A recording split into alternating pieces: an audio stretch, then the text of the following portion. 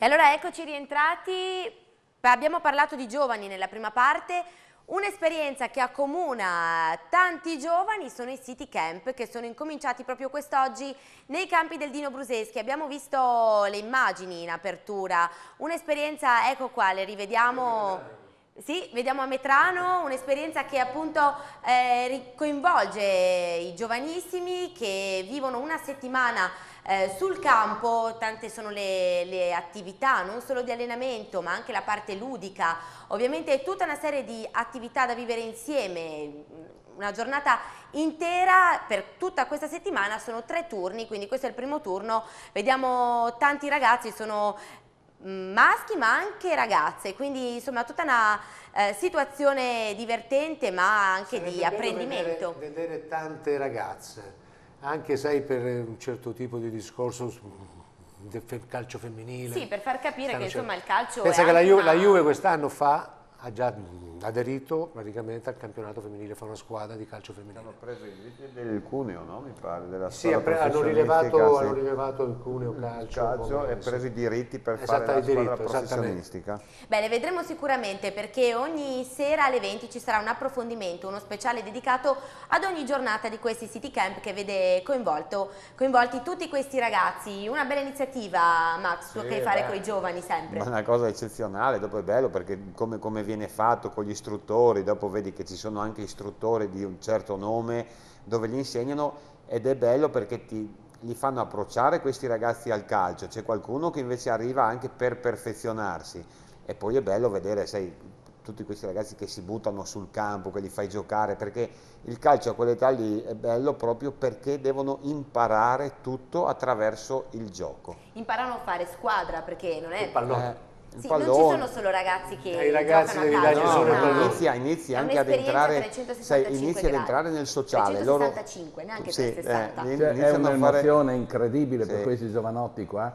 E io eh, ogni volta che parlo del City Camp ogni anno dico se avessi avuto la possibilità 60 anni fa di andare ai City Camp eh, sarei andato di corsa perché sarebbe stata un'avventura indimenticabile. Quella volta non non si facevano tu questi... 60 anni fa andavi alle colonie, non andavi a City Camp. No, non, andavo, non andavo in colonia, ma se ci fossero stati City Camp, i, camp, i campus delle, delle, varie società sarei andato perché credo sia una emozione unica, un'avventura incredibile. E lo dimostra il fatto che c'è sempre il tutto esaurito nei, nei city sì. camp organizzati dall'Udinese. Con largo anticipo vuol dire, turno, vuol dire quindi... che la risposta è quella che si attendono i genitori, oltre che i bambini e sono tutti entusiasti. Eh, ti ripeto, è un'emozione unica che fa bene anche dal punto di vista sociale. Ci sono tecnici, come diceva Massimiliano, professionisti, eh, sono seguiti, eh, lì rimangono dalle 8 e mezza del mattino fino alle 17.30, sì. sono seguiti come un'ombra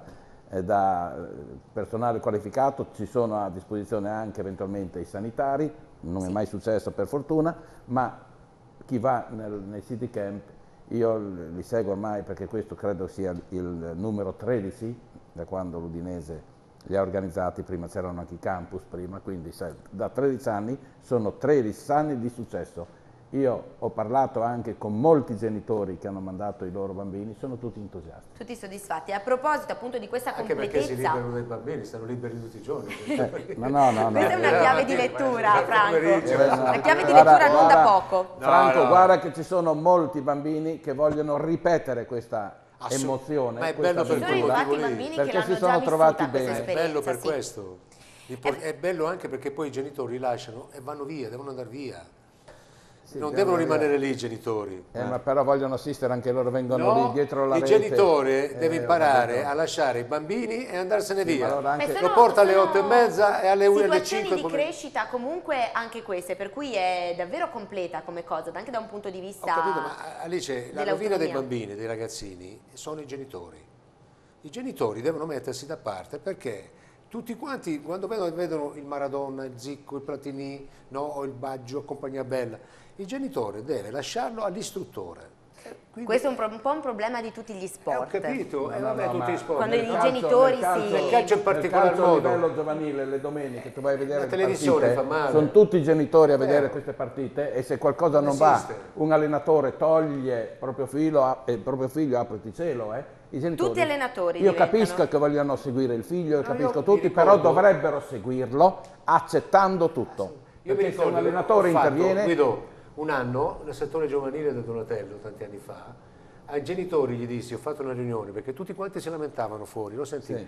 Ho detto, questo è fischetto, venite ad arbitrare le partite dei giovedì amichevoli e vediamo cosa...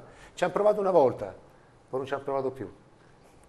Bisogna Secondo prendere delle perché? misure drastiche. E allora queste esperienze appunto servono Maxi. ai nostri ragazzi anche per una crescita Veramente. da questo punto di vista. Chiusa la parentesi City Camp che ovviamente continuano, le, continueranno nelle prossime giornate, le seguiremo appunto, vi ricordo alle 20 ogni giorno, torniamo a parlare di mercato visto che è il tema caldo del momento e da casa Stefano... Chi è centravanti? Di chi parliamo? Di chi è eh, di chi è centravanti parliamo? Allora, allora sale la quotazione... Ce li, abbiamo, ce, li abbiamo, ce li abbiamo tutti. Allora, argomento a scelta, di chi vuoi tutti parlare? Tutti Pavoletti, quanti. Pavoletti, vediamo eh, le immagini Meretti di Pavoletti. di Pavoletti, vai. Ecco qua eh, questo è l'argomento caldo, eh, perché oggi Widmer, Widmer e Meret eh. per offerta monetaria da, da definire problema, e Pavoletti. Lo faresti sì o no? Ma io lo vorrei sì, ma il problema è l'ingaggio. I soldi, se, se, penso, se il Napoli paga un po' i soldi che prende il ragazzo, puoi anche fare 50-50. Però io credo che l'ingaggio di Pavoletti eh, sia un po' troppo alto per ma Insomma, ti preoccupano gli infortuni di Paoletti o... No, perché come attaccante mi piace di più di tutti i nomi che sono stati fatti Paoletti. perché e vedo quel realizzatore d'area che all'Udinese è mancato dopo Totò di Natale per Anche me. perché era è il giocatore che secondo me ti, male, ti, po eh, ti porta nella doppia cifra fra tutti a me piace, l'avevo detto anche l'altro lunedì, me, come giocatore mi piace più questo qui. Se lo scambio è quello lì, un Meretti in prestito, un cambio con Widmer per un giocatore lo farei. Quest'anno sì. tre gol Pavoletti, Falcinelli ne ha fatti 13, Guido, Falcinelli ti piace?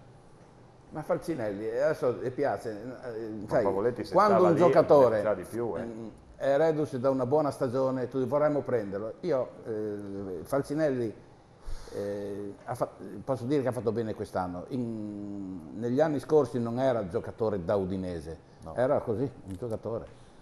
Allora, se il Sassuolo, che è proprietario del cartellino di Falcinelli, mi chiede 9 milioni, io al Sassuolo gli dico tenetevelo.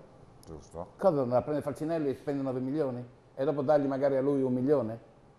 E mi risolve i problemi Falcinelli? Non risolve. Allora, io, io per esperienza ti dico, per esperienza conoscendo un po' eh, il mercato dell'Udinese, quando si fanno i soliti nomi, Pavoletti, Inglese, Falcinelli, tac, tac, arriverà un altro Arriverà un altro perché l'Udinese lascia che ognuno dica quello che vuole ed è giusto che sia così perché eh, quando si fa il mercato ognuno dice arriva Tizio, eh, arriva Caio, ma io sono convinto che arriverà perché l'Udinese sta setacciando da sempre e secondo me fa be non bene, benissimo, il mercato mondiale. Eh, io credo che l'organizzazione che fa capo a Gino Pozzo, ci sono procuratori, ci sono osservatori, ci sono dirigenti, probabilmente ha già individuato il prospetto per l'Udinese e non credo che sia il signor Pavoletti che ha un ingaggio elevato non dall'Udinese, non si possono correre il rischio di infrangere equilibri fragilissimi all'interno di uno spogliatoio dando un ingaggio elevato agli altri e lasciando, e lasciando, inalterati gli altri, perché allora dicono bene Pavoletti segna te, io, noi stiamo a guardare, perché c'è anche questo nel calcio, perché sai, dopo se lo spogliatoio storge il naso allora non è più compatto. Non è facile trovare il giocatore, però io sono convinto che rispetto allo scorso anno non, per l'Udinese questo non è che, la stagione che inizia l'anno zero, ma è l'anno uno, perché l'Udinese ha bisogno di pochi ritocchi per essere competitiva. L'intelaiatura è robusta, non scordiamoci che è già stato preso un certo Barak, è stato preso anche Lasagna, non dico che Lasagna partirà titolare, sono stati presi Beh, alcuni oh, giocatori. Però sono degli innesti. Se la gioca, quindi arriverà la punta centrale, secondo me la punta centrale e due esterni, due terzini. Due esterni bassi. Perché nel centrocampo, che è, il settore, nomi, che è il settore fulcro, io dico, vedo in questo momento il centrocampo è composto da Balic, Fofana, Ianto, Alfredson Badu, De Paul. De Paul, Ma qualcuno andrà via. E siamo, no, sette, non so se vanno via, siamo già a sette. Arriverà un giovane evangelista che ha dimostrato nelle ultime partite Beh, che non è, un- che non è uno sprovveduto, quindi l'Udinese nel mezzo è già a posto. Prendere un giocatore migliore di quelli lì, credo che per l'Udinese sia impossibile, deve costruirlo, deve prendere un giovane, avere il fiuto di prendere il giovane giusto, costruirlo, sperando che diventi giocatore. Se è già affermato, prendere uno migliore di quello lì è impossibile, perché devi spendere 20-30 milioni. Quindi l'Udinese nel mezzo è già a posto, serve la punta e secondo me uno o due terzini. La punta, uno che costa poco e che tra l'altro ha giocato con Lasagna, un buon gregario, magari può eh, trovare quest'anno una buona linfa, lo danno in salita inglese. Sì. Questo? Salita la quotazione inglese. Non mi, non mi entusiasma, sinceramente. Anche se comunque è riuscito a fare 10 gol quest'anno con il Sì, sì, va bene, ma sai, Ma Cherry invece non è mai sul mercato, non niente. chi? Quello del Pescara. L'attaccante Del Pescara. Non, è- non- non viene Non accostato, viene accostato a niente. Però di, di Cerri non si parla. Per me, Eh, ecco bravo, di vedi. Cerri si dici che potrebbe in realtà quindi essere... Io devo stare zitto perché cioè, personalmente mh, giovane, grande fisicità, la porta c'è, logicamente va allenato, però... Che giovane. Sì, è giovane, è giovane. È grezzo, è grezzo da È, sgrezzare è- è da sgrezzare, però è che fa l'europeo. quel Sai, È giocatore... facile parlare di, di- di- di, eh, Falcinelli, di, Eh, che di- inglese, che li hai già Pavoletti. Però in inglese c'è il rientro di Paloschi, quindi potrebbe essere un... ehm, questa è una motivazione in più per, per la quale... Beh, o secondo voi insomma, no? Tra inglese e Paloschi io preferisco inglese adesso, che rientri Paloschi. in- E, e poi il discorso è sempre il solito. Cosa costa inglese? Bisogna vedere cosa costa. Cosa costa di ingaggio inglese? Insomma, eh, l'Udinese è attenta, giustamente è attenta anche a queste cose qui. Perché se non fosse attenta, a quest'ora probabilmente non sarebbe in Serie A. Guido, allora, Beh, del- del- allora della lista dei nomi è giovane. il più Eh? eco- economico, tra virgolette. Allora devi prendere un lista dei- giovane. Ma l'ha sempre fatto un giovane. capito, allora oppure, un giovane ha già ma fatto ha 10 preso anche dei giovani in passato l'Udinese. Io ricordo eh, l'Udinese, il capolavoro de- de- di Gino Pozzo, quando ha preso Amoroso, era un giovane. Era un giovane, giovane che per fermato, tutti, però. per tutti era finito perché aveva Sì, ma avuto un, giovane già fermato all'estero. beh, era reduce da un anno di inattività. Quindi No, perché si era fatto male a ginocchio. Appunto, Ma era reduce, Flamengo, era Flamengo- reduce da un anno di inattività, per molti era un giocatore già finito.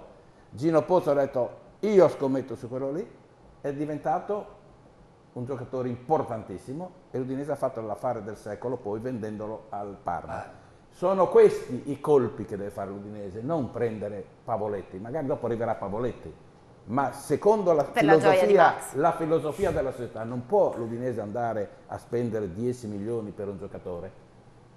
Secondo me farebbe una pazzia, almeno che questo giocatore non avesse la certezza, ma nessuno garantisce la certezza di essere veramente un giocatore in grado di segnare 15 gol minimo.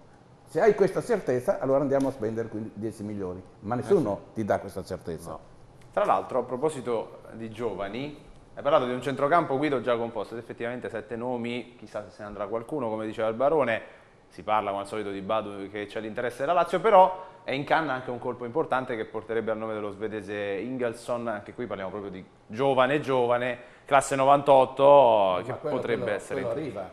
Però stiamo parlando di uno svedese, 19 anni, eh, viene lì, eh, lasciamo che cresca, imparerà, fra una, è, è il classico giocatore preso in prospettiva. E da casa... qualcuno appunto che risolva il- i No, problemi. noi, no, adesso stavamo parlando, Beh, in prospettiva serve- da di Zapata. giocatori in grado di essere utili da subito. Quindi Allora, utili da subito ci- ne abbiamo già sette. Dopo arriverà qualche giovane, dimenticavo, eh, eh, Stefano mi ha fatto appunto, mi ha ricordato il nome di Ingerson, che sarebbe l'ottavo, arriverà anche un nono, ma sono giocatori che sono lì per imparare, per ambientarsi, Chi per essere nono? utili tra un anno. Eh? Chi è il nono? Non lo so, anche il decimo arriverà. E da casa Stefano qual è il No, nome da più casa gettonato? l'ultimissimo messaggio parla adesso, ma avevo già letto un articolo che c'era stato questo interessamento per Giovanni Simeone che sarebbe sicuramente eh, un giovane, ma anche lì eh, siamo già su cifre importanti perché ha fatto una grandissima stagione. Ci parlavano invece di giovani eh, che rientreranno dai prestiti, eh, il solito Cristian che è sempre molto attento ai giovani, Giadi, Coppolaro e Rovini. Difficile immaginarli titolari, anche se forse Del Neri su Coppolaro un pensiero non potrebbe farci. abbastanza bene, quindi stava meritato anche la convocazione nazionale, ha giocato anche abbastanza bene, direi che un'opportunità si può anche dare a questo ragazzo. Eh? Però È un un centrale, centrale, sì. centrale, ti fai il centrale. Beh, anche in difesa magari qualcuno potrebbe, Sì. potrebbe lasciare Ti spazio. dico Rovini che l'ab- l'abbiamo conosciuto anche a Pistoia, è allenato anche a Pistoia, Sì. che lui rientrava da un infortunio, però è un, è un giocatore interessante, eh? Un giocatore che sa fare la seconda punta, sa fare la punta esterna se giochi con una linea a 4, sa giocare molto bene con questo piede mancino ad incrociare, sai, Sì, ma hanno già giovani, hanno... eh, Però qui parliamo Male- sempre di prospettiva. hanno Evandro, eh, Sì, ecco, vai a prendere sempre allora, quella tipologia se- di giocatore se tu lì. prendi Rovini e non Sì. gioca, è meglio eh, parcheggiarlo altrove dove ha la possibilità di giocare, presupposto, unico presupposto per diventare giocatore, per sperare di- che diventi Ma è- giocatore. E qui, e qui sicuramente quando arriva, prima di prendere il posto per dirti a Yankto o a De Paul, che deve, perché a quelle posizioni lì se lo metti sulla linea dei centrocampisti, però molto offensivo. Se invece lo metti come seconda punta, sai, deve, deve anche lui, devi- de- ecco quello potrebbe essere una Ma scommessa, credo però che, è dal- un giocatore che interessante. per alcuni giocatori il periodo che va dal 6 luglio al 14 dello stesso mese, luglio, quando, Un banco di prova. quando- esatto, quando l'Udinese terrà la preparazione qui a- al, al Bruseschi e saranno organizzate anche delle amichevoli, credo che in quel nove giorni Del Neri visionerà soprattutto Inquadrerà la situazione, anche sì. alcuni che ritornano dal, dal prestito, potrebbe essere appunto Coppolaro, potrebbe essere Rovini, poi potrebbe essere anche qualche altro giovane che eh, acquistato adesso che dice no, preferisco che, vada, eh, che venga ceduto Lima lì. in prestito in un'altra Eh sì, squadra è un piuttosto che stia qua perché non qui abbiamo non è, non è pronto per giocare. Perché qui la, eh, la rosa è, non dico che sia già a posto al 100%, ma io- la squadra all'88, Più di 25 non ne 90%. puoi mettere. Abbiamo, parla- abbiamo già- detto già- centrocampo a posto, come appunto hai detto anche tu, serve risolvere questa situazione eh, del buco creato da Zapata. Per quanto riguarda Terzini, si è fatto il nome di Giuseppe Pezzella del Palermo, che potrebbe andare a sostituire Adnan. Questo è un altro nome. È un altro nome che costa. Perché È un altro nome che 21, costa, Pezzella, però sembra un interessamento... Barreca, ci sono, ci sono anche Barreca, quindi sono tutti e due nazionali under 21. Se ne è parlato sicuramente, non c'è solo l'interessamento dell'Udinese ma anche tante altre squadre. Sì, c'è anche l'interessamento del Napoli, infatti, per Pezzella, sì. quindi è abbastanza È difficile, come Che però giocatore. Napoli non giocherebbe. A Udine ha sicuramente la posizione. Potrebbero, Franco, potrebbero prenderlo anche in prestito con diritto di riscatto Sì, ma eventualmente. si parla del Palermo anche di Nesteroschi, no? Quindi, Si parla anche, esatto, ci sono tanti eh, nomi. però, sai, In realtà si Jaialo, parlava anche di Iaialo, anche di esatto. Jaialo, quindi adesso si fanno solo tanti nomi. Minestrone di, di nomi in questo- calciomercato in questa fase. È un, Eh, nome, no, è un ottimo nome, nome- è un uno nome peso anzi. più in alto della Sì, lista sì. perché è un giocatore molto, È Sì, molto è un importante. ottimo nome. Al di là di tutto, ovvio che le urgenze siano il numero 9 e la questione del portiere, ma eh, Però l'Udinese vedi sonda quest'anno un queste... terzino sinistro a te, quando tu Samir È non ce l'avevi, ti, ti è mancato eh?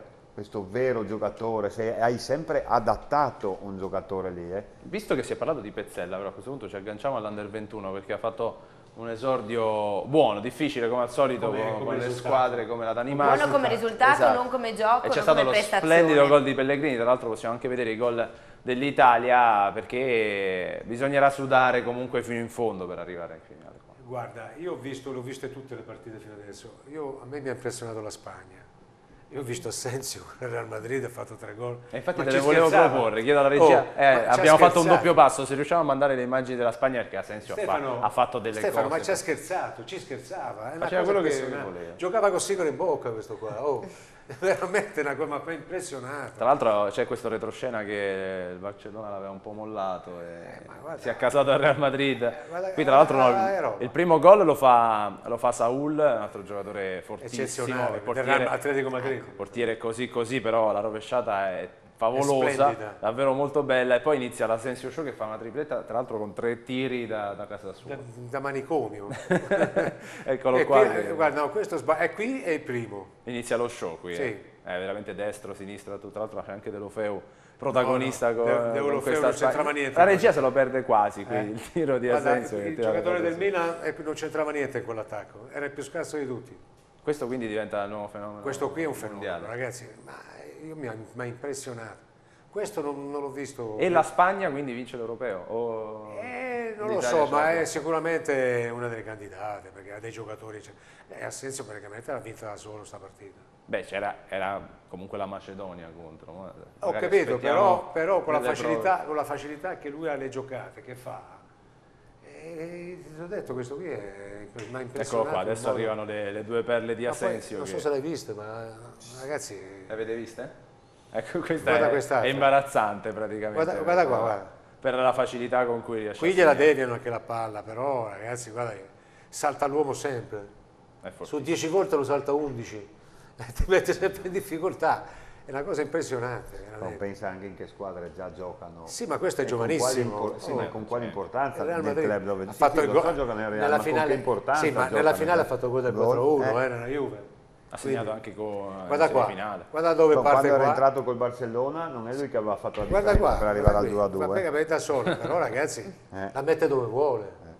Diciamo che ci metterà in difficoltà questa Spagna senz'altro. Ma guarda, la nostra, nonostante- la nostra nazionale ha vinto 2-0, ha vinto meritatamente, però a me il primo tempo, primo tempo mi ha deluso. Male. Sì, perché mi aspettavo qualcosa dai giocatori cosiddette stelle, no? Le cose- sia Bernardeschi che Berardi. Mi aspettavo qualcosa di più di questi due. Beh, le farmi- aspettative erano alte, comunque No, si è parlato delle, mi una aspettavo- delle under mi 21 aspettavo più che questi forti qui mi degli ultimi facessero la differenza. Invece Bernardeschi ha giocato bene gli ultimi 20 minuti, non so quando è entrato Chiesa. Chiesa ha dato una scossa. Berardi praticamente non pervenuto mai.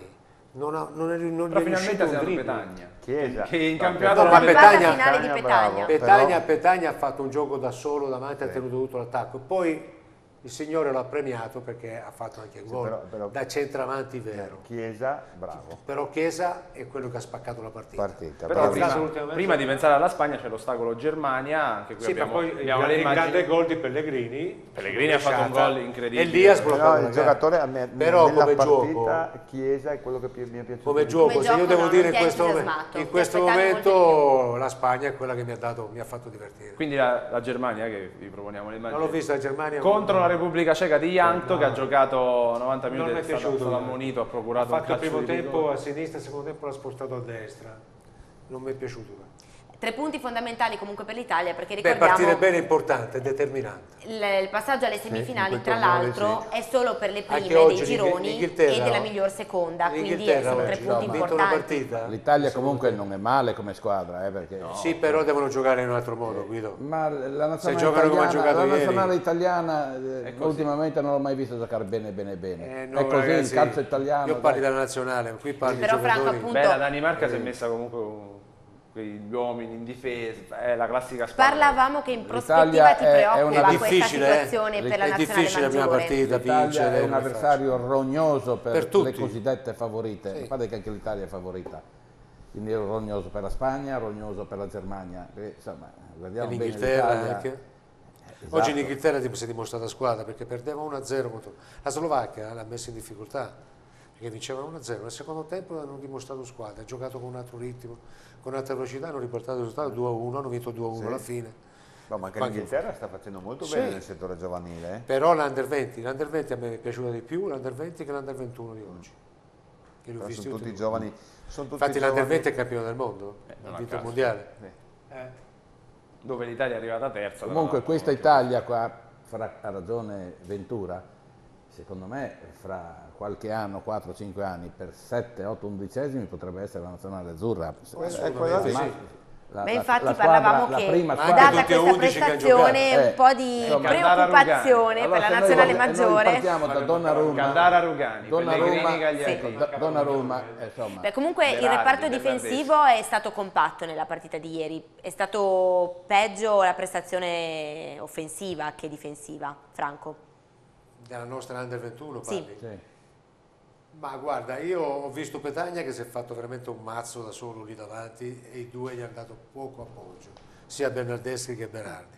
Nel momento in cui è entrato Chiesa, eh, ripeto, ha spaccato la partita, cominciato a perché ha cominciato, no, ha cominciato a creare la superiorità numerica, quello che gli altri due, pratica- praticamente Bernardeschi gioca- si accentrava sempre, Berardi giocava quando gli aveva la palla, non, la- non andava mai a cercarla, e quindi gli sono mancati anche il supporto a questo ragazzo qui. È entrato Chiesa che gli ha aiutato, Bernardeschi ha praticamente è cresciuto molto, gli ha dato una mano e poi praticamente l'ultima mezz'ora ha già fatto anche una buona gara. Potremmo commentare la partita ancora per molto, però il tempo stringe, siamo in chiusura e come sempre Stefano ha preparato i contributi del eh sì, meglio e il peggio. Sì, abbiamo dei, dei contributi, partiamo con uh, una cosa, i tifosi del Pordenone dovrebbero cambiare canale o andare a dormire, no scherziamo perché sappiamo che la ferita è ancora aperta, però è stato fatto un video audio uh, del discorso di Lucarelli prima di Parma-Alessandria, con il Parma che è tornato in Serie B, sentiamolo, molto bello. Cosa ho detto? Questa foto c'è tutto quello che siamo noi c'è sofferenza, c'è paura, c'è sudore, c'è sacrificio, c'è tutto quello che ci ha portato a giocarci questa partita oggi.